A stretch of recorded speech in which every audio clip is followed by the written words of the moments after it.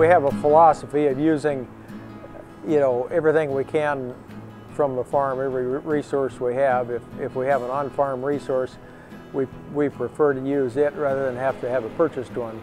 The farm has evolved over the years. It's long been a family farm and uh, the thing that's kept it running for years and years has been the brown Swiss dairy cows. And uh, uh, you know, we also raise some pigs and we, you know, sell them as, uh, you know, as fats. And so um, we've long worked with small grains for uh, forages and, and in recent years we're starting to uh, figure out how to use them as cover crops. But uh, oats have always been uh, like any tool, you know, uh, um, you know, if you only got one tool, you can figure out how to make it the right tool. Well, in, our, in, in this case, it's just, just another one of those tools that can be used a number of ways.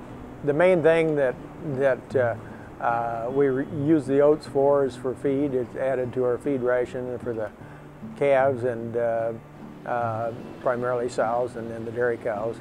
Um, it's uh, an excellent, excellent uh, source of fiber that benefits animal digestion. There's probably almost as important as the as the grain, although as the straw, because we use a lot of it for bedding, it's it's unbeatable for things like uh, you know calf bedding and uh, for farrowing sows and stuff.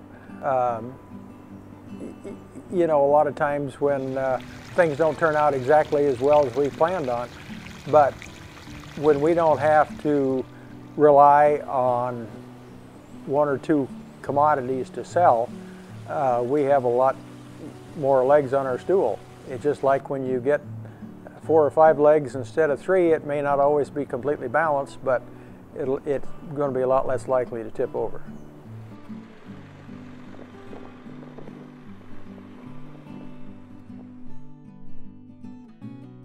For more information, visit practicalfarmers.org, where you will find farminars, research reports, videos, and other useful resources about how to strengthen your farm by adding a small grains crop to your rotation.